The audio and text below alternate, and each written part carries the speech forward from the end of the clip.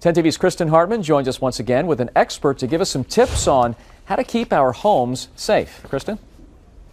Well, during our whole Home of Hope build, there has been one thing that's been a constant on the site here, actually about a half a block from here, and it's a big rig just about a half a block down.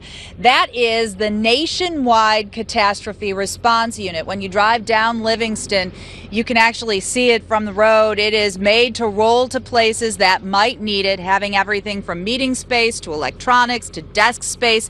It is tailor made for mobile command. You could even dispense humanitarian aid from the rig, which has been on the scene after Superstorm Sandy and the tornado in Joplin. Pete Lohr of Nationwide now joins us, and we've been using the rig uh, on and off throughout the build, but it's really here to make a statement. And what is that, Pete? It, it's severe storm time, and it's kind of make a reminder to everybody to start thinking about the spring storms coming up and prepare your houses for less so you don't you can minimize your damage. Now, if I'm sitting at home, I'm wondering, okay, how do I prepare my house to minimize damage? You're the expert. Let me know.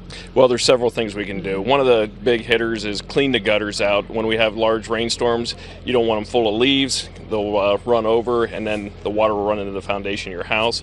The other thing you want to make sure you divert the water away from the house. Here we have great example that uh, the water runs to the street, so it won't run into the home. One of the another big one is sump pumps inside the home.